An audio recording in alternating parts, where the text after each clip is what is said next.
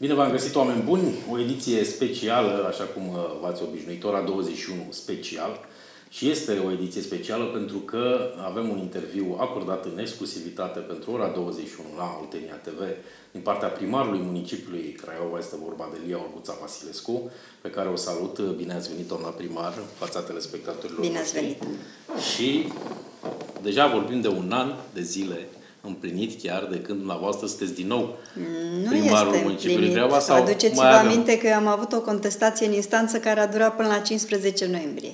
Corect. Altfel, dacă s-ar fi împlinit un an, aș fi făcut fără îndoială bilanțul pentru un an de mandat, pe care îl voi face în jurul datei de 15 noiembrie. Deci țineți să aveți acea dată strict de 15 noiembrie. Da, e, e normal pentru că atunci se împlinește un an. Chiar dacă alegerile au fost pe 27 septembrie anul trecut, eu vreo lună și jumătate n-am putut să intru în mandatul de primar din cauza contestațiilor care au avut loc. Mi-aduc aminte episodul și mi-aduc aminte cu ce forță ați reușit la un moment dat să vă impuneți punctul de vedere corect și legal de altfel. Da, Dar vă intra în mandat, pentru că efectiv treceam de o anumită perioadă de timp și nu intrați, nu reușeați să intrați. Exact. De atunci s-au mai calmat lucrurile.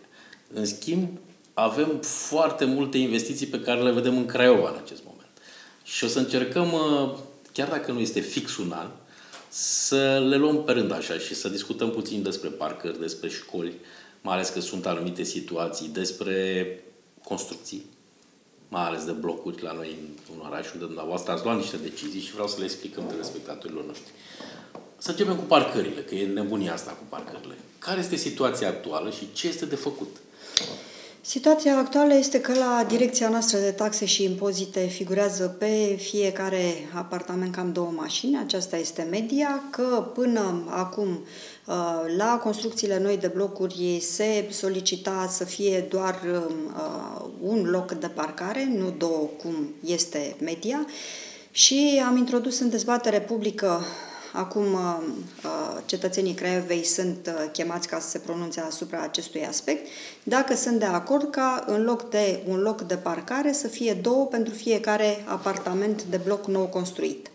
Mai mult decât atât, pentru că ne-am uitat și noi peste tot în toată Uniunea Europeană, în toate țările civilizate, peste tot parcările sunt în subteranul blocurilor. Nu mai există această nebunie care este pe la noi prin România cu mașinile lăsate în stradă fiecare pe unde apucă. Este unul dintre motivele pentru care iarăși ne-am gândit ca la acest regulament să figureze și obligativitatea constructorului de a asigura locuri de parcare în subsolul blocului nou construit.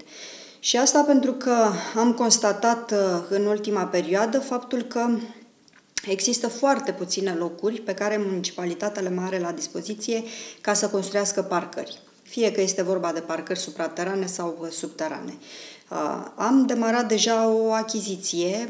La nivelul Consiliului Local a trecut deja o primă achiziție de um, teren vor mai urma în ședința următoare probabil încă șase și tot așa unde vom identifica în uh, cartiere posibilități ca să construim uh, locuri de parcare, fie că este vorba de uh, supraetajate sau nu, să achiziționăm aceste terenuri. Mai mult decât atât, vreau să vă spun că pe unele terenuri suntem cam obligați să le cumpărăm. De ce? Uh, pentru că afectează inclusiv aleile de intrare în blocurile de locuințe.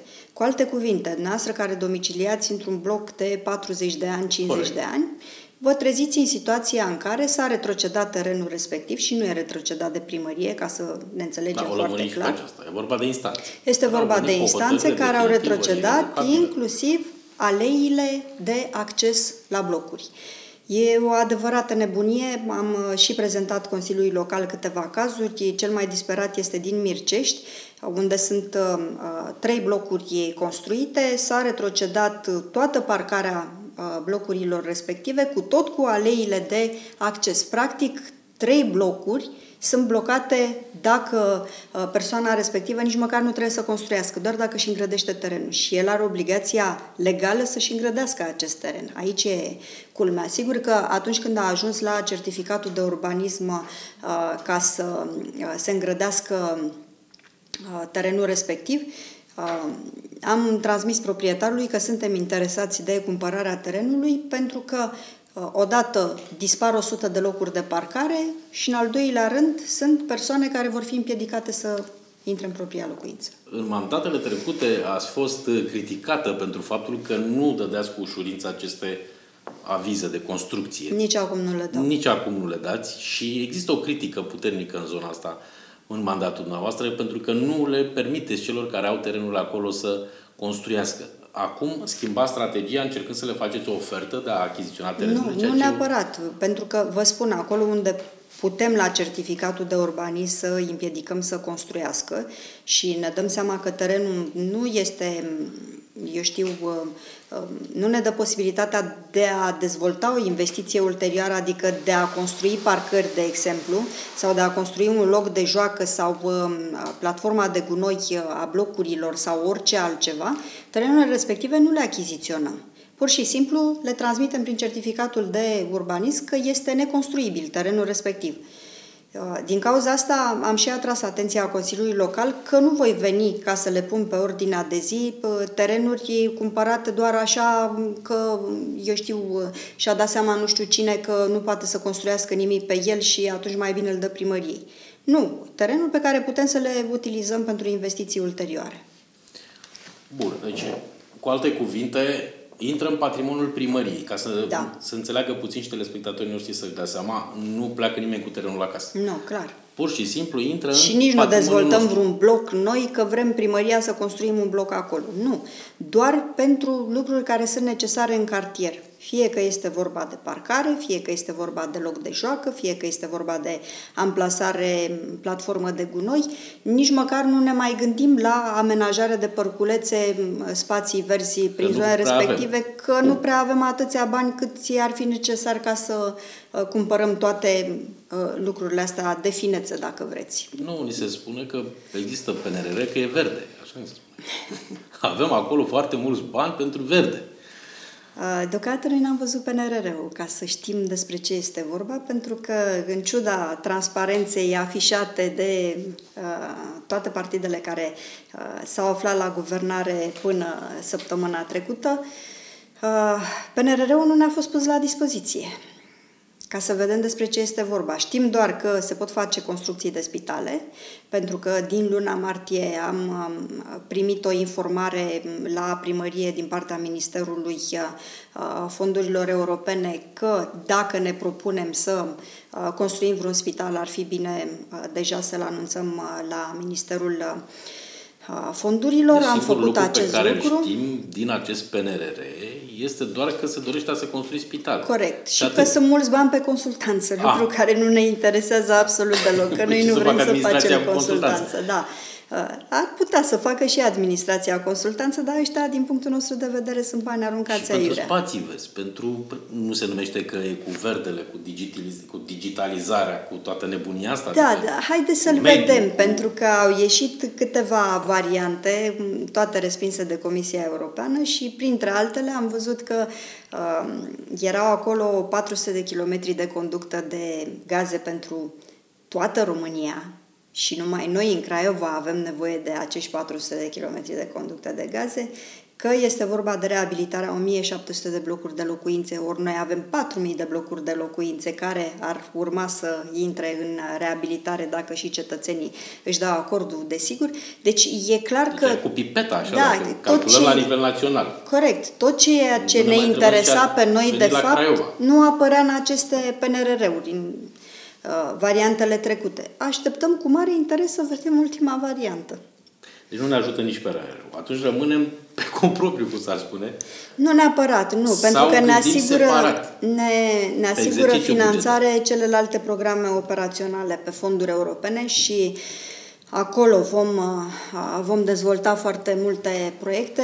Noi uh, deja am scos 82 de proiecte considerând că acestea sunt uh, foarte necesare orașului Craiova și în momentul în care apar ghidurile de finanțare vom putea să intrăm pe finanțare europeană. Deocamdată nici ghidurile, nici ghidurile nu, nu, care au fost promise în luna iunie, apoi uh, termenul uh, ne-a fost transmis că s-a schimbat în august, suntem deja în luna octombrie și încă nu au apărut ghidurile. Deci este clar că se întârzie foarte mult proiectele europene. Din cauza exclusivă a guvernului, ca să ne înțelegem foarte clar. Nu și-au făcut temele. Nu și-au făcut temele la timp, automat vor exista prelungiri, un buget uh, de pandemie, cum s-ar spune, adică sunt cheltuieli foarte mari pe zona aceasta de criză sanitară, e foarte greu să intervii, să mai faci investiții din bugetul propriu. Cred că sunt și bani care nu i-ați recuperat. Anul acesta am avut, cred că, cel mai uh, redus buget de, nu știu, cred că din ultimii 40 de ani. Adică niciodată Craiova nu cădea sub 25 uh, măcar de milioane de euro pentru investiții. Am avut 13. Mai adică la începutul, da, mai puțin de jumătate. Mi-amintesc când am plecat din mandatul de primar uh, în 2016 că ajunsesem la 35 de milioane de euro bugetul de investiții al orașului. Vă dați seama când m-am trezit anul acesta cu 13 milioane, am zis hai să vedem ce facem ca să fie um, foarte important pentru municipalitate. Și atunci, anul acesta ne-am concentrat foarte mult pe școli, și dacă în mandatul 2012-2016 am pus la punct toate spitalele care sunt în subordinea municipalității și am reușit să construim un spital nou, uh, care este spitalul din Sărari, uh, ne-am dorit foarte mult ca de anul acesta să începem reabilitarea școlilor. Toate bazele sportive sunt puse la punct la ora actuală, mai puțin cea de la um, liceul um, economic, unde este vorba de un zid de sprijin care va trebui să fie consolidat și abia după aceea putem să refacem baza, dar în rest toate deci celelalte... ați trecut ca prioritate zona aceasta da, de infrastructură școlară. Da. Am achiziționat foarte mult mobilier școlar nou pentru că era și din 1980 mobilier în școli și bineînțeles că am reușit să schimbăm o foarte mare parte din el și în continuare le-am transmis directorilor că așteptăm de la ei solicitări ca să putem să le direcționăm mobilierul pe care noi l-am achiziționat deja sau suntem în curs de achiziționare, pentru că și aici e vorba de un acord cadru și uh, luăm doar cât avem solicitări Apoi, uh, bazele sportive toate uh, refăcute, mult lucrat pe interiorul și pe exteriorul școlilor. Sunt câteva școli care pot să se laude că sunt puse la punct complet. Și ne dorim ca anul viitor, când începem uh, anul școlar, la 15 septembrie, absolut toate școlile să fie nou-nouțe pe interior, pe exterior și pe mobilier școlar. E destul de scurt, doamna primar. Se poate reuși într-un interval atât de scurt da. și Asta ne gândim și la zona financiară, adică dacă aveți și resursele financiare. Da, ne-am mișcat foarte bine. Anul acesta, v-am spus, a trebuit să găsim niște priorități, tocmai având niște bani atât de puțini. Norocul nostru a fost tot cu finanțarea europeană, cu proiectul din anul 2014 pe fonduri europene, care este cel mai mare din Uniunea Europeană de canalizare și apă potabilă, pentru că am uh, reușit ca 40% din zona de Uh, est a orașului uh, Craiova să aibă deja um, să aibă deja conductele introduse și urmează ca să se facă probele și uh, străzile respective să beneficieze de canalizare. Deci am avut acei bani la dispoziție ca să se vadă ceva și în zona deci de periferie. Noi lucrăm acum și investim cu banii din exercițiul da financiar trecut da. al Uniunii Europene. Exact, este un proiect pe care eu l-am accesat în anul 2014, care prevedea canalizare pentru tot orașul Craiova și, de asemenea, construcția firului 2 Zvarna, care înseamnă apă de munte de la 125 de kilometri adusă direct la robinetele craiovenilor. Și acolo s-au finalizat toate licitațiile, pe două tronsoane se lucrează deja și se lucrează foarte bine. Noi estimăm că în anul 2023 vom avea gata toată canalizarea orașului Craiova și, bineînțeles, aducțiunea firului 2 Izvarna. După care, în anul 2023 va fi anul asfaltărilor în zona de periferie, exact cum s-a întâmplat în 2015. Nu știu dacă vă mai aduceți aminte. Da, aducem aminte, pentru că la un moment dat Craiovenii se împărțiseră în două. Unii care spuneau, ok, foarte bine se schimbă și unii care spun, ca și acum, nu mai putem. Prea multe șantiere Prea multe deschise, șantiere da, deschise. Așa este. prea multe șantiere, unele întârziate, pentru că uh, degeaba vor să intre pe o stradă cu asfaltarea, trebuie să aștepte să se termine canalizarea acolo. Din cauza asta am și spus, intrăm doar pe străzile care sunt deja canalizate și care au toate utilitățile, uh, cu asfalt, urmând ca în 2023 să facem exact ca în 2015, când am asfaltat 55% din suprafața uh, strada deci, la orașului. Trebuie să știe în acest moment că tot ce se sparge acum și se va mai sparge în perioada următoare va fi asfaltat da, cum clar. trebuie. În 2023 începe zona aceasta de asfaltare. Că există acum această temere. Bun, păi se sparge și aici, se sparge și acolo. Într-adevăr, tot orașul este cel se puțin zona și centrală. Din, și din și... păcate am avut probleme cu unii furnizori de utilități care astăzi am asfaltat strada, peste săptămână au venit să spargă că și-au dat seama că nu știu ce avarii au sau nu știu ce conduct au uh, uitat să o introducă, deși noi notificăm. De câte ori intrăm pe o stradă ca să asfaltăm, notificăm Spuneți, că... exact, absolut toți furnizorii de utilități, vedeți că intrăm. S-a întâmplat, s-a întâmplat în spate la Calea București, a mai fost o avarie uh, chiar zilele trecute pe Unirii, condițiile în care abia s-a asfaltase Unirii noaptea. Și dimineața s-a trezit un cetățean care și-a adus el aminte că uh, mai are uh, o conductă de introdus și a vrut să o introducă prin subteran, adică teoretic fără să spargă strada, practic ai înțepat conducta de apă a, a cartierului apa. respectiv, a ieșit apa și atunci a trebuit să refacem strada cu totul. A fost o nebunie întreagă. Noi sperăm din toată inima să nu mai pățim așa ceva, că sunt situațiile care ne dau cele mai mari bătăi de cap și ne enervează cel mai mult. Adică îți vine să mori în momentul când știi că ai terminat o zonă și iarăși se întâmplă ceva acolo. Și bă, vina de foarte multe ori acestor operatori, să 100% mai, lor. Care nu reușesc să se Uh, sincronizeze cu investițiile da. sau cu dumneavoastră, cu Sau când au de făcut foraje subterane, pur și simplu nu țin cont că ar trebui să aibă o cameră de la vedere care să filmeze pe sub pământ, adică da, să observe, să observe unde exact unde sunt celelalte conducte, nu țin cont de avizele celorlalți furnizori de utilități pe unde le trec conductele, trec pur și simplu așa și atunci înțeapă alte... Aici intervine, intervin sau ar trebui să intervină zona aceasta de amenzi. A, clar. că am nu și... scapă măcar neamendați, adică să le luăm banii dacă deci, tot... nu numai că îi amendăm, dar am și retras avizul de a lucra în Craiova pentru câteva firme. E Bun. o nebunie. Și zilele trecute au venit să se plângă la mine că le-a retras avizul primăria. Foarte bine v-a făcut. Adică sunt direcțiile noastre care se ocupă, care văd ce se întâmplă în teren, le retrag avizele, pot să vină la primar să spună orice, că nu, nu mai uh, uh, vrem să trecem cu vederea absolut nimic. Deci, aveți o administrație tranșantă în privința asta. Da. Deci respectăm regulile, contractele, dacă nu, sancțiune și interzicere de a și mai interzicere lucra. de a mai lucra pe terenul municipalității.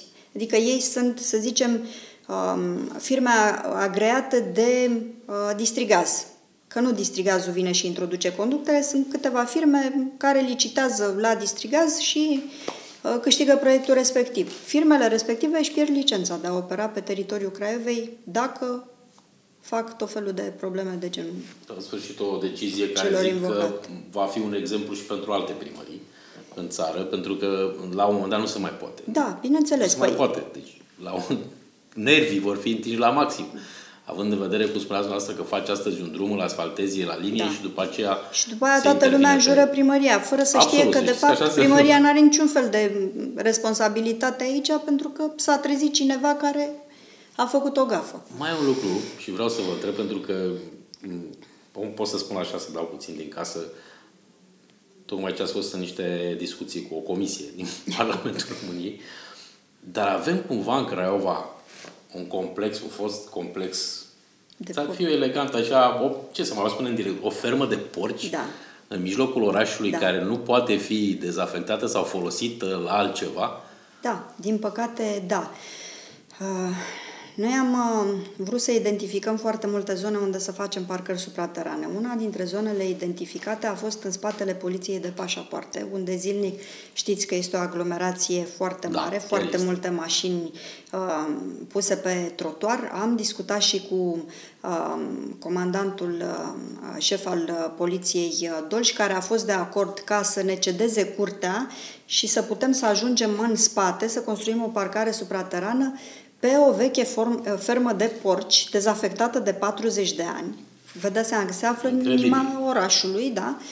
Și a trebuit pentru asta ca să cerem avizul de la Consiliul de Administrație al Liceului Energetic, unde vreau să vă spun că s-au făcut toate investițiile posibile. S-a refăcut baza sportivă, da, chiar e un interiorul liceu... claselor, uh, tot ce au solicitat de la noi uh, s-a refăcut. De acea fermă de porci, vă dați seama că nu mai are nimeni nevoie de 40 de ani. E bine, nu au vrut să ne dea avizul Consiliului de Administrație pe motiv că o să-i acuze poate cineva vreodată Dacă că... nu mai este folosit acest spațiu și uite de Asta 40 noi, de ani, da. sau poate că are liceul de gând să facă ceva, dar nu face. Nu, nu face. Oricum are foarte multe terenuri liceul, are un uh, teren de sport și nu exagerez deloc, este cât o Blemenco de mare, chiar respectă dimensiunile. Serios, da, nu da, glumă, nu, nu, nu e o glumă. E cât stadionul Oblemenco este, de mare. Este fix cât o Blemenco de mare, uh, de altfel și gazonul pe care îl ridicăm acum de pe Oblemenco îl ducem acolo ca să facem baza sportivă perfectă pentru uh, școlile de deci nu se pierde. De mici fotbaliști, nu. Nu aruncăm nimic, tot ce putem să refolosim, refolosim, că nu ne dau bani afară din casă.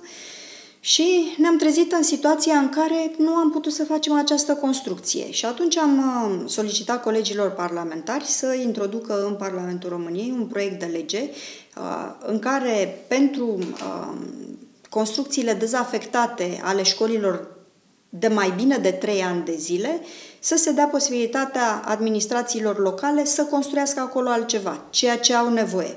Aici vă dați seama că ferma asta chiar nu ne ajută pe nimeni. Să presupunem vreodată că i-ar veni unuia prin cap să refacă ferma de porci. Cum să aduci fermă de porci, da, în mijlocul orașului? Face așa ceva. Deci e o nebunie. Și atunci am zis, dacă nu găsim înțelegere, atunci hai să o facem prin forța legii, astfel încât să putem să uh, creăm acea parcare cu 600 de locuri de parcare. Și eu sper că uh, să treacă și de plen săptămâna aceasta, de plenul Senatului, uh, să meargă la promulgare. Nu văd de ce președintele ar, uh, eu știu, întoarce înapoi la Parlament da, această pentru că e o situație lege. care se regăsește, cred că în mai multe orașe din În țară. absolut toate orașele deci nu din cred că doar la Craiova, da. pentru că câte, pe unele chiar le vedem. Noi, cetățenii, trec și spun, ce cu clădirea asta aici, care este deja dărăpânată, stă să cadă. Așa este. Și nu intervine nimeni să facă nimic. Și a școlii și școala nu vrea să o dea mai departe către municipalitate ca să se construiască ceva. Vă spun că avem în fața luncii, iarăși, foarte multe astfel de clădiri da. care sunt de, de mai bine de 40 de ani dezafectate. Vă dați seama cum arată, e horror. Nu putem să facem nimic în ele pentru că nu avem avizele. Și uite, ar fi spații necesare pentru parcări, că Cum să tot nu? vorbeam de parcări. Pentru parcări, pentru, Pentru- pentru dispensare, pentru cabinete Corect. medicale, pentru orice altceva, chiar pe fonduri europene, nu știu, un cămin de bătrâni, orice altceva. Uh, Eu am ridicat această problemă și în cadrul Asociației Municipiilor din România și m-au delegat ca să particip la ședința Senatului în care se uh, dezbat aceste probleme și să susțin că este votul unanim al uh, colegilor primari din toate localitățile. Deci, Asociația Primarilor își dorește Da. lucrul acesta, tocmai pentru a încerca să mai scape din clădirile acestea vechi și să le și folosim Corect. noi ca Să și putem, comunitate da. la ceva. Este un lucru foarte bun pentru că multe dintre ele chiar intră în zona aceea de pericol. Adică la un moment Corect. dat pot să se prăbușească. Sunt cetățeni care pot Corect. uh, Mai fi mult afectați. decât atât, vreau să vă spun că și pentru blocurile de locuințe și pentru casele cetățenilor, începând de anul trecut, din luna octombrie, este o obligativitate ca să-și refacă fațadele. Pentru că noi aprobăm anul acesta, pentru anul viitor, taxele și impozitele locale, ne propunem ca să fie la jumătate, adică să ai un bonus de 50% dacă ți-ai reparat fațada pe o perioadă de 3 ani de zile. Cu alte cuvinte, dacă astăzi trebuie să plătești 100 de lei impozit pentru apartamentul tău, anul viitor vei avea 50% impozit Scăzut. și în anii următori încă uh, Doi practic sau 3 trei. ani, da, 3 ani, uh, astfel încât să ne asigurăm că măcar așa se întâmplă să se respecte legea care a fost dată Deci, anul e foarte trecut. interesant proiectul ăsta. O scutire, cum ar veni. Cu scutire cu 50%, 50%. timp de 3 ani de zile pentru plata impozitului dacă clădirea este reabilitată. Și aici nu ne apucăm să cerem OZN-uri ca să-și pună, eu știu, uh, panouri solare sau cine știe ce. Nu, pur și simplu vrem să fie refăcută fațada. Și aici va trebui, cred că, la un moment dat să veniți cu un regulament să nu avem o, un curcubeu de culori există ca să un, mai regulament, deci există un regulament. Există da, un regulament. Toate, le văruim până da, la toate blocurile din Craiova se văruiesc doar în culoarea bej sau alb. Albul acela La mai puțin murdar, gălbui, așa, puțin gălbui. Exact. Este deja paleta de culori aprobată, nu mai acceptăm ca să fie galben cu portocaliu, jumătate galben, jumătate portocaliu, pentru că toate cartierele Craiovei arată ca o sorcovă. Pur și simplu toate bej. Dacă ne dăm seama că ar trebui o pată de culoare, atunci venim cu uh, pictorii uh, care sunt uh, deja agreați de noi, care pot să deseneze ceva pe fațada blocului. Uh, nu știu, să facă o, o Sunt pictură deja cu câteva- graffiti. Sunt câteva. Exact, picturi în graffiti Craiova care și- sunt senzaționale. Unele da. dintre ele chiar sunt Am început foarte și bune. pe școli să facem, sunt foarte apreciate de, Da. de elevi aceste uh, grafiti și ne-am bucurat că de anul acesta inclusiv Universitatea din Craiova cu uh, secția de pictură uh, de la Facultatea de Arte ne-au solicitat posibilitatea ca și studenții lor să vină să dea practic un examen în fața cetățenilor Craiovei pictând de fațade. Deci nu trebuie să facă cetățenii altceva decât să prin asociațiile de proprietari să uh, găsească o firmă care, Care să... să- să le voruiască în bej fațada. Dacă simțim că este nevoie de, nevoie de mai multă culoare, atunci intervenim noi. Dacă nu, cel puțin să fie toate într-o culoare. Închipuiți-vă calea București cu toate blocurile Da. Ar arăta tot în, arată. în albul acela care a fost de la început, uh, dinainte că ne de, ajută și de vara. Revoluție. Noi da, e fiind uh, o Da, zonă nu de, e o de noutate. foarte cald. Culoarea aceasta ajută. Corect, nu e o noutate. Să știți că în toate țările civilizate este obligativitate ca măcar o dată la 5 ani să se văruiască fațadele. Uitați-vă în Grecia cum arată. E albul acela, când mergi în Grecia, asta te izbește prima Primul oară, lucru albul care- Uitați-vă Uitați-vă în Spania Da. ce se întâmplă. În Tot Spania... zone cu o temperatură ridicată. în Da, special și acolo vara. s-a mers atât de departe încât nu poți să spui nici perdea de ce culoare vrei. Și asta e adevărat. Trebuie să pui perdea pe care ți-o dă ca paletă arhitectul șef al orașului. În Barcelona, cel puțin, o să vedeți blocuri întregi cu perdelele toate verzi sau draperiile toate verzi. Mă rog, noi nu ajungem chiar acolo, dar uh, cu certitudine trebuie să, să ajungem să avem un uh, oraș care să arate frumos. Da, da, Și cred că va trebui promova mai mult pentru că sunt absolut convins că aici era de fapt problema.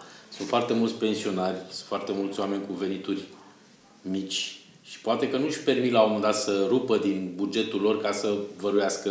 E adevărat, numai Dar că... faptul că dumneavoastră veniți cu acest proiect de a iscuti de impozit da. jumătate, se poate lua de Practic, acolo ei să o știți sumă de că bani. într-un an de zile și-a recuperat investiția din uh, uh, cât le revine lor uh, partea de bloc. Am zis, hai să mergem pe trei ani de zile până la urmă scutire, pentru că este foarte important ca orașul să arate bine. Degeaba am făcut noi pe calea București toate acele investiții care cred că sunt apreciate de 90% de, Chiar de sunt locuitori. Uh, Adică am venit cu tot felul de idei ale m, elevilor de la liceul de artă, tot temurile acelea colorate, care să știți că plac foarte am mult prins toată străinilor. Presa și în afară chiar. Da, Ca uh, idee. dacă aveți cetățeni din alte localități care vin prin Craiova, o să vedeți că uh, sunt, uh, le apreciază foarte tare. Uh, Degeaba am început să ne ocupăm de spațiu verde, de uh, refacerea scărilor uh, de pe calea București, în fine, a zonelor pietonale, absolut tot, ați văzut cât am lucrat, dacă blocurile arată în halul în care arată. E clar că și acolo trebuia făcut o intervenție. Municipalitatea nu vrea să intervină foarte mult în treaba proprietarilor, până la urmă, sau asociațiilor de proprietari. Nu veniți să le impunem o firmă cu care să facă. Pot să facă cu cea mai ieftină firmă de pe piață pe care o aleg ei. Dar important este totuși ca aceste fațade să fie reparate. Vreau să vă mai întreb un lucru, pentru că sunteți primul primar al Craiovei care a venit și, într-adevăr, a venit cu această idee de loc de joacă în Craiova. Și sunt locuri de joacă. Ați insistat foarte mult în primul mandat să fie făcute. Între timp, S-au degradat. s-au degradat. Așa este. Mai există în planul dumneavoastră Da. și o modernizare măcar. Da, avem o procedură de achiziție la ora actuală la care lucrăm, eu am retras o altă procedură de achiziție pe locurile de joacă, care fusese lucrată în primărie înainte de mandatul meu și și urmase parcursul, însă am descoperit acolo că nu era aparatură de fitness, Adică hai să nu ne limităm la locurile de joacă să fie doar Strict. pentru copii Corect, să fie sub 12 ani. Care vin cu să fie exact mai mari. Sau, pe, sau pentru copii mai mari, pentru tineri, pentru adolescenți. Nu aveam prevăzute acolo coșuri de gunoi, porții uh, de fotbal pentru bazele uh, sportive din uh, cartiere, pentru că acum putem să le spunem din cartiere, printr-o hotărâre a Consiliului Local de luna trecută, Practic, s-a introdus obligativitate pentru toți directorii de școli ca să deschidă bazele sportive pentru public după desfășurarea programului școlar. Adică până la ora 16, să zicem, sunt cursuri, lași baza în pace ca să facă acolo sport doar elevii, după ora 14 până la ora 21 ele se deschid cartierului. Și atunci... Ne bucură faptul acesta. Da. Chiar o idee și în weekend la fel, de dimineața până seara sunt uh, să fie deschise. Uh, noi așa am cerut într-o primă fază tuturor directorilor, n-am găsit înțelegere la toți și atunci am găsit această uh, variantă de a-i obliga pur și simplu printr-o hotărâre de Consiliu. Deci toate lucrurile acestea nu existau în uh, vechiul proiect pentru locurile de joacă și am zis hai să stopăm licitația că nu suntem într-o fază atât de avansată încât să nu mai putem să mai facem nimic și să venim cu ceea ce ne interesează. Nu o să mai vedeți, de exemplu, că avem pentru o zonă în care lăsăm firma să gândească ce vrea ca să pună acolo. Nu, uh, ne-am gândit la ceea ce este foarte folosit. Toboganele, pleagănele, uh, lucrurile acestea pe care poate să le aducă orice firmă Corect, de da. profil din România și să avem cât mai mulți participanți la licitație, astfel încât să ne asigurăm că și prețul este cel mai mic.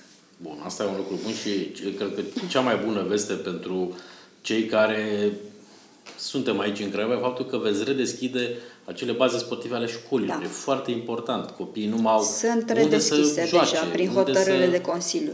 Am și considerat că dacă bun. facem o investiție, să nu o facem doar pentru școală, să o facem pentru întreaga comunitate.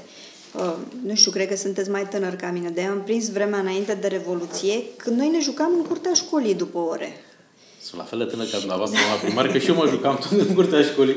Acolo se jucau, acolo... Da, din păcate, și... în ultimii ani, vedeți, a, a funcționat această interdicție cu directorii care vin și spun nu că îmi strică baza sportivă. Ok, ți-o strică, ți-o repară primăria. Da, hai să-i lăsăm pe toți să se bucure. E imperativ necesar să se întâmple da. lucrul acesta dintr-un simplu motiv, pentru că Într-adevăr, e nevoie de locuri de parcare, că trebuie să fie Așa și locuri este. de parcare. Dar e nevoie și de un spațiu unde copiii să fie protejați și să poată să Așa bată este. mingea, cum spuneam noi. Corect. Să, să, și să în curtea școlii sunt protejați.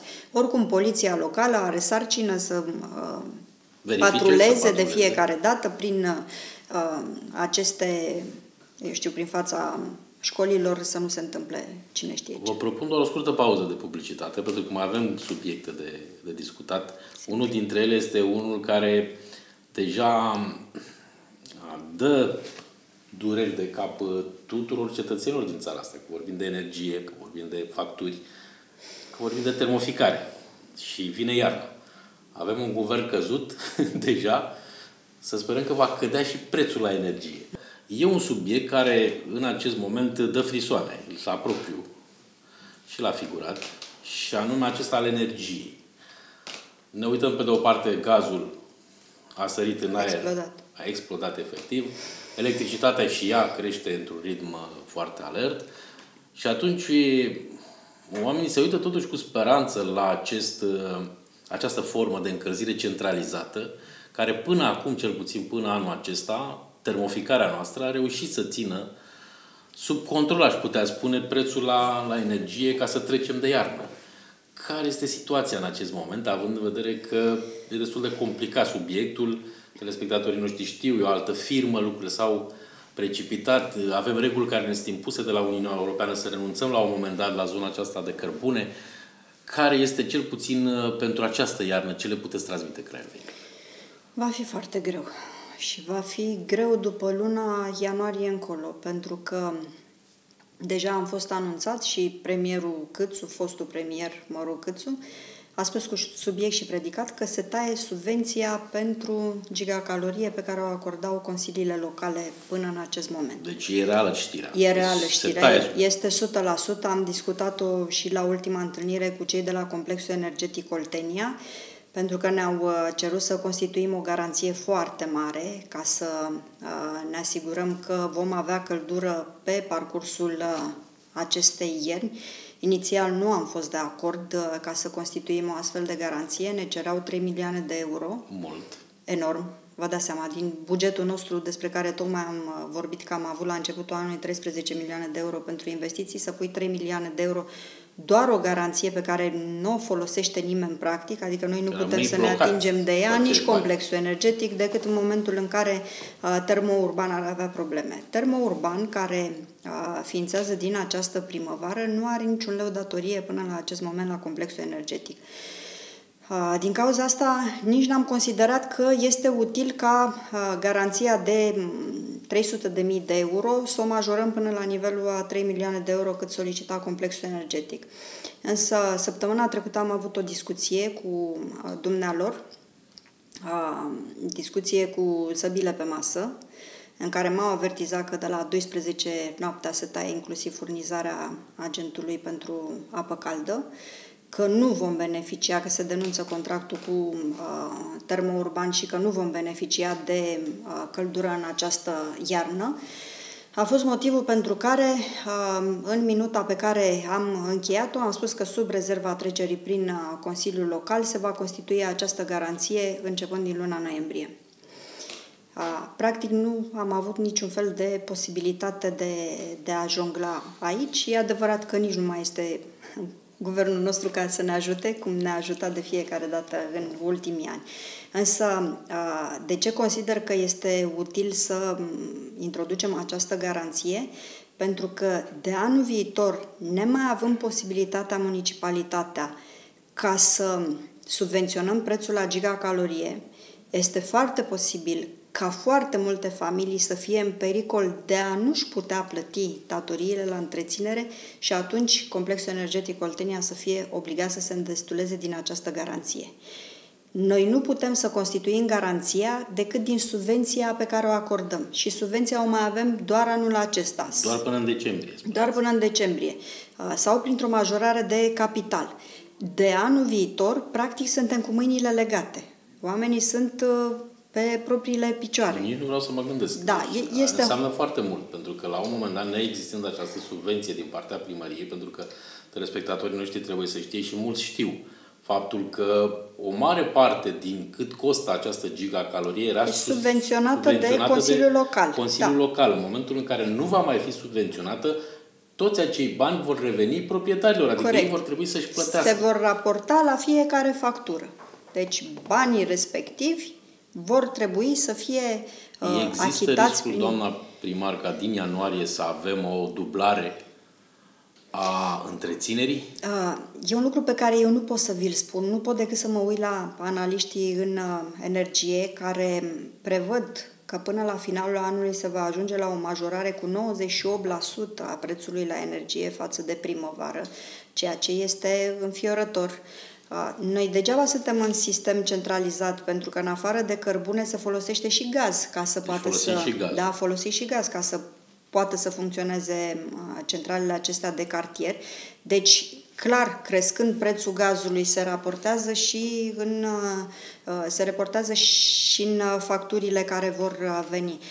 Este, este o situație foarte complicată. E motivul pentru care noi am cerut prin parlamentarii noștri ca să se facă ceea ce s-a întâmplat pe vremea PSD-ului.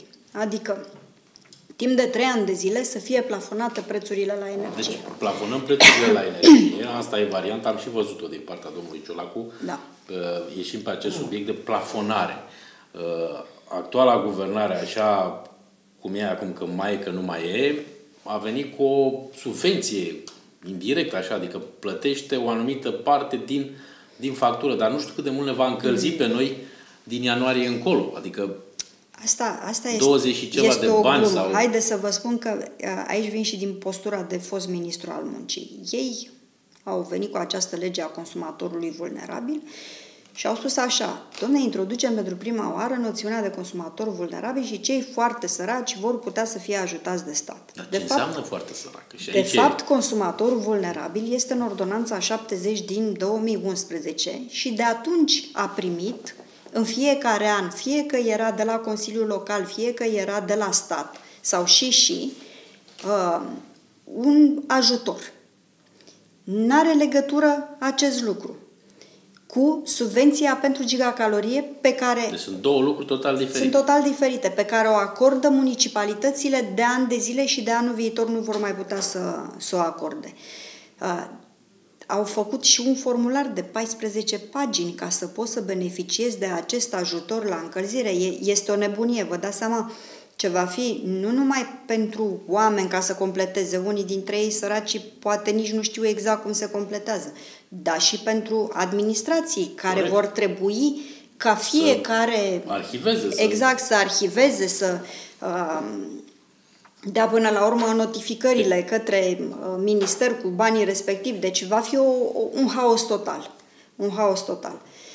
Nu, Soluția de unde ar trebui să vină, doamna primar? Și vă sunt două întreb- soluții care noi le avem în, uh, în Îmi cer plan. scuze că vă întrerup, pentru că dacă nu ne uităm de unde vine soluția, vă, vă dați seama că în ianuarie, când lucrurile vor prinde sau vor exploda la propriu, prima învinuită va fi primăria, pentru că Nu cred, cred că cetățeanul se oamenii, uită la primărie oamenii și au întreținerea început n-a să crescut. înțeleagă, nu, oamenii au început să înțeleagă că nu este de la primărie, că crește prețul la energie peste tot în uh, România și nu în lume, că noi dacă ne uităm avem de 20 de ori mai mult decât Franța Da. pe costul la energie.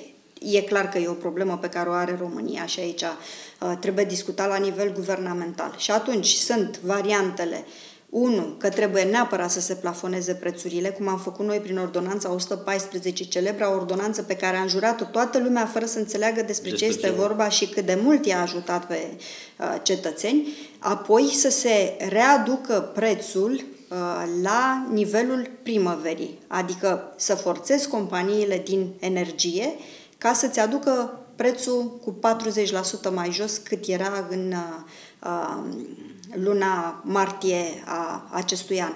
Uh, Dacă nu se fac lucrurile acestea, eu vă spun că vom avea o foarte mare parte din populație care nu își va permite să se încălzească în această iarnă. Până în luna decembrie târâși grăpiși se mai mișcă. După luna decembrie, când le taie și ei subvenția uh, gigacaloriei Consiliul Local, că nu mai are dreptul legal să-l dea, atunci va fi o adevărată bombă socială. Sunt lucruri pe care noi le-am spus guvernului, um, am avut tot felul de întâlniri online în această perioadă în care le-am solicitat măcar etapizat să ne lase să dăm aceste uh, subvenții Da, către măcar o perioadă din locuitori. aceea, să spunem, în care omul să se acomodeze cu Corect. ideea de șase luni sau de o iarnă măcar. Culmea să este să- că cele mai mari subvenții le-au acordat municipalitățile care acum sunt guvernate de dreapta. Deci în uh, municipiul București, subvenția uh, municipalității este de 63%. Deci închipuiți-vă că din Ce luna va însemna ianuarie... în ianuarie pentru Exact. bucureșteni? La cei 63% pe care nu-i mai dă primăria, adăugați costul acestor uh, uh, prețuri la energie, gaze și așa mai departe. Deci va fi Deci soluția, Corect. spune doamna primar, este să o căutăm la guvern. la guvern, nu mai la în guvern. deciziile unui guvern responsabil care să vină și să plafoneze. Da. Oricum, pomeneați de acești analiști economici, unii dintre ei deja au ieșit și au spus că e o creștere artificială, speculativă chiar, Așa este. a da, așa prețului este. la energie din partea acestor furnizori. Așa este. Noi Au aduceți-vă crescut intenționat aminte prețul. că impozitasem toate multinaționale tot prin ordonanța 114. Culmea se impozitează și acum la nivel de Uniune exact. Europeană. Adică Acum toată lumea, la nivelul G7, s-a luat în discuție acest lucru ce încercam noi să facem atunci și n-am reușit, din păcate, pentru că au abrogat ordonanța 114. Dar uh, va fi un haos generalizat dacă nu se iau aceste măsuri. Și noi, în primul rând, trebuie să ne protejăm populația. Haideți să nu ne mai tot uităm uh, la soluții venite de afară. Nu, noi trebuie să ne găsim soluțiile în interiorul României, pentru că noi suntem cei afectați. Bun, vom vedea din ianuarie, oricum până atunci sunt absolut convins că dumneavoastră ca primar și administrațiile și această asociație, care cred că are un cuvânt, spun eu, greu de spus și noastră, aveți și o funcție de conducere din câte știu eu. Da, În, sunt vicepreședinte. Sunteți vicepreședintele Asociației Primarilor din România. poate vor, veți reuși să puneți presiunea necesară pe un guvern să sperăm că vom avea și un guvern plin care poate să intervină cu ordonanță de urgență, cu ceva, pentru că timpul trece foarte repede. Adică ianuarie Cam Acum aici, bate la ușă, da. Cam aici și altfel nu vom, nu vom reuși să trecem peste perioada aceasta. De, asta de și spunem că dacă, dacă tot o vor face, măcar să o facă etapizat, adică să lase să treacă iarna Românii și după din martie încolo să se gândească la astfel de soluții, până atunci poate se reglează piața cumva, mă rog, se găsește o variantă. Ei când au uh, eliminat uh, ordonanța 114, ar fi trebuit să ia în calcul toate aceste lucruri, că era clar pentru noi, cel puțin care făcusem ordonanța, că vor exploda prețurile la energie. Și atunci ar fi trebuit să vină eventual cu niște procente. Ai voie să crești, dar, dar... nu într-un procent mai mare de atâta, până la data de. Adică toate lucrurile astea trebuia să le aibă în vedere. Au dat drumul pur și simplu, au anulat uh, acea ordonanță și totul a sărit în aer. Ca ministru al muncii v-ați fi opus la genul acesta așa direct de liberalizare a pieței? Clar, adică... clar, clar. Dar noi am guvernat uh, de fiecare dată uh, în favoarea cetățeanului. Adică mi-aduc aminte că în spatele fiecărui ministru, dacă veneai în minister, găseai planșa cu ce are de uh, făcut. făcut, ordonanță de urgență și așa mai departe. Toate lucrurile astea erau integrate între ele, adică eu nu luam o măsură fără să mă fi corectat înainte cu Ministerul de Finanțe, ca să știu că ce aplic eu are Ministerul de Finanțe bani să-mi dea mai găseam un leu, hai să-i punem repede la pensii sau hai să-i punem repede în salarizare sau hai să facem, nu știu, la ajutoare pentru persoane cu handicap, toate lucrurile astea. Asta nu mai există în actuala guvernare. Acum e de dreapta, fiecare este pe... De dreapta, de dreapta, dar pensii, de exemplu, tot avem de plătit. Da, sunt de plătit și, și eu spun... Pare așa o debandadă totală în zona asta a pensiilor, adică nu mai înțelege nimeni nimic. Dacă se majorează cu cât se majorează, dacă se face o altă lege, dacă... Deci nimeni nu mai Da, pentru că ei nu aplică legea 127 și aici nu numai pe valoarea punctului de pensie care trebuia să crească încă de anul trecut cu 40%. Aici vorbim pe toate celelalte inechități pe care legea le corecta. Ori ca să se poată corecta, ei trebuiau să recalculeze toate pensiile aflate în plată, adică 5 milioane de pensii. N-au recorectat niciun uh, uh, dosar până la ora actuală și asta se vede. Deci sunt foarte multe lucruri pe care uh, le-au, uh, le-au stopat numai pentru că știau că vin din partea PSD-ului. Și uite, Erau vă, bune de ce? Exact, vă mai dau un exemplu care nu poate nimeni să ne contrazică niciodată că nu era o măsură extraordinar de bună pentru români. Și anume, constituirea Casei uh, de Comerț uh, Agricol Unirea. Ce se întâmplă? La Poiana Mare, de exemplu, unde se cultivă roșii, se lua de la proprietar direct tot ceea ce uh, însemna Producea. producția pe anul respectiv și se transmita mai departe către magazinele pe care le avea această cameră de comerț în toate uh, orașele și satele. Practic puteai să te duci și să cumperi cu un adaos de uh, 30 de bani roșiile direct de la producător. Asta au stopat-o, a fost prima măsură pe care au stopat-o pe principiu nu avem nevoie de gostaturi. Poate la nivel guvernamental nu e nevoie de gostaturi, dar pentru cetățeanul care trăiește de pe o zi pe alta, Sticați sigur era nevoie. unora care sunt foarte mari în zona asta. Adică e foarte adevărat. Da, pe noi ce ne interesează? Producătorul autohton, nu? Și, bineînțeles, cetățeanul român care consumă o marfă pe care știm că a produs-o cineva din România. Suntem pe final de emisiunea de doamna primar. E un lucru pe care, care ar vrea să vă, întreb, să vă întreb, pentru că a născut uh, discuții în oraș și craiovenii vorbesc. Uh, ce se întâmplă cu aceste blocuri noi care apar, se construiesc unele dintre ele și care nu au parcare? Craiovenii se lovesc de lucrul acesta spunând, ok, bun, faceți blocul, dar unde o să parcați? Că nu mai avem unde să da, ne punem uh, autoturism. Sunt cartiere întregi efectiv sufocate, cum este Brazda lui Nova, cum este zona Dacia. Deci acolo s-a construit absolut haotic.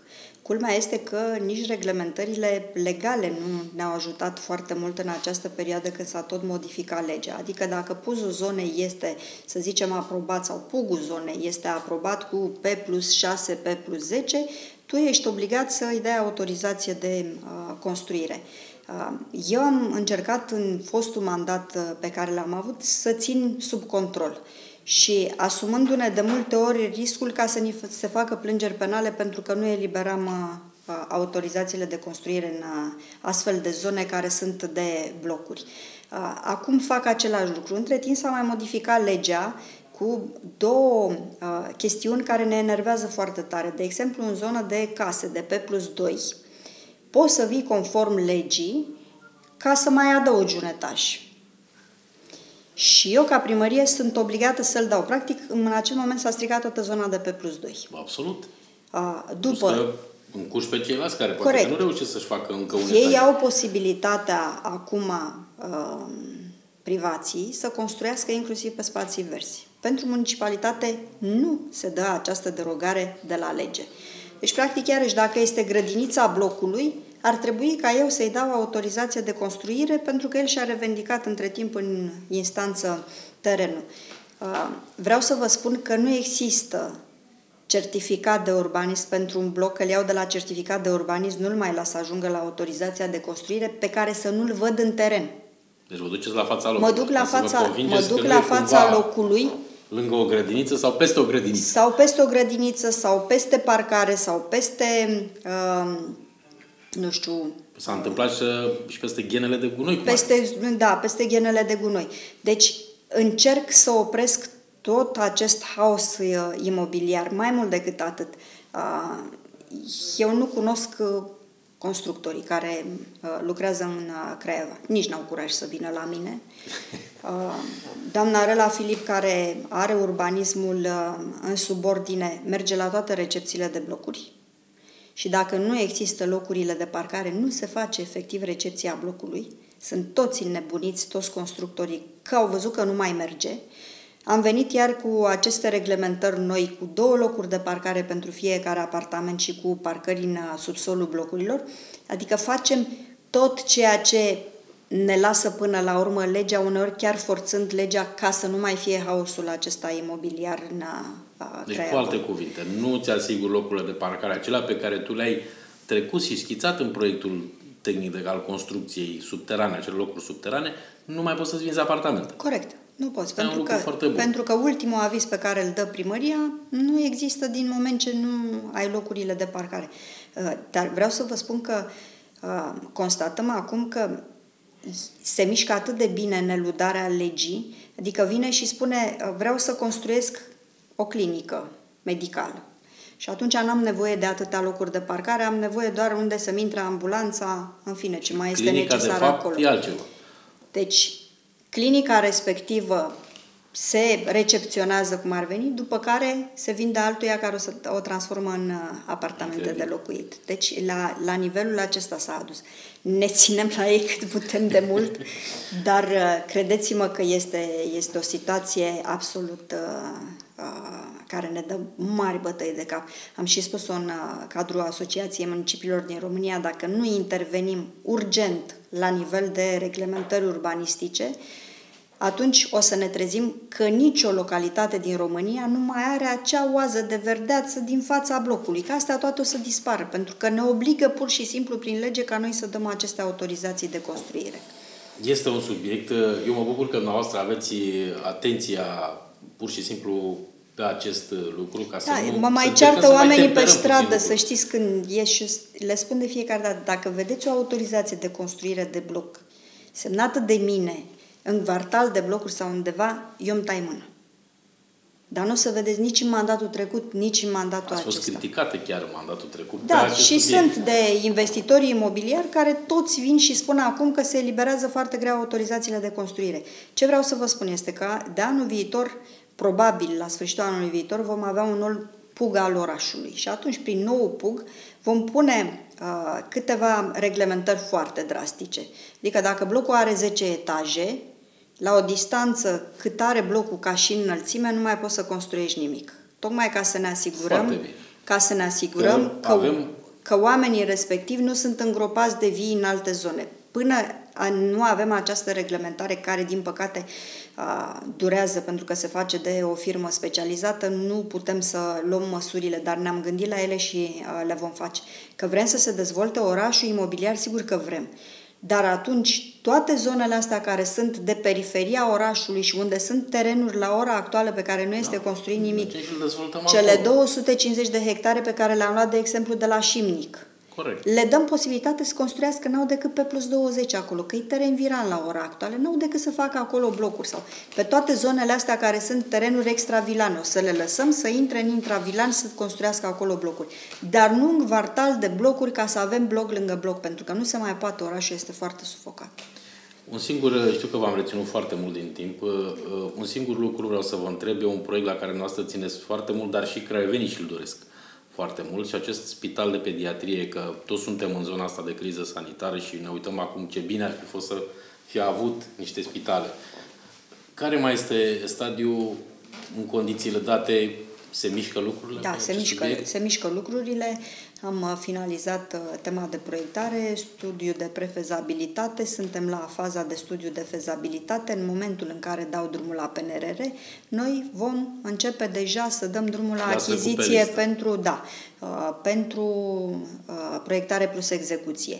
Deci, undeva în următorii 2 ani, 2 ani și jumătate ar trebui să avem această construcție de spital de pediatrie cu șapte etaje în curtea Spitalului Filantropia și apropo de ce bine o să fie că o să avem acest spital, să ne gândim ce rău ar fi fost în această perioadă de pandemie dacă n-am fi construit spitalul municipal acum uh, câțiva ani.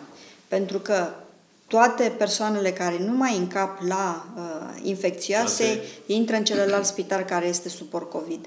Deci, cred că abia acum realizează toată lumea cât de importantă a fost această investiție. Și mai se mai realizează un lucru și am spus-o și o spun public, de fiecare dată acea bilă albă pe care noastră o aveți în spațiul public pentru faptul că avem medici în țară acum când chiar avem nevoie de ei, faptul că a fost ministrul care a luat acea decizie curajoasă la vremea respectivă de a majora foarte mult pentru vremea respectivă salariile medicilor da, și este unul din motivele pentru care avem acum alături de noi. Tocmai vă povesteam că aveam în spate un panou cu ce, ce trebuie făcut acolo aveam și indicatorul roșu, spuneam. De fiecare dată când se sesiza că e o problemă care e aproape să bubuie.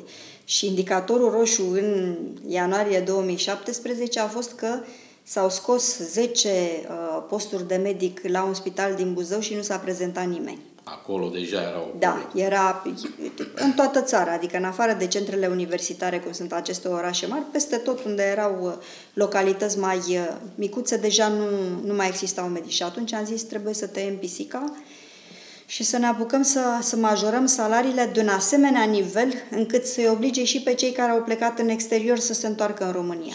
Și s-a întâmplat, da, s-au întors atunci șef de clinică din Germania, din Belgia, din alte țări importante ale Uniunii, care au văzut gradul de salarizare pe care l-au avut uh, doctorii din România. Vreau să vă mulțumesc pentru timpul pe care l-ați acordat, vă urăm succes în continuare și să ne faceți viața mai ușoară. Asta încercăm.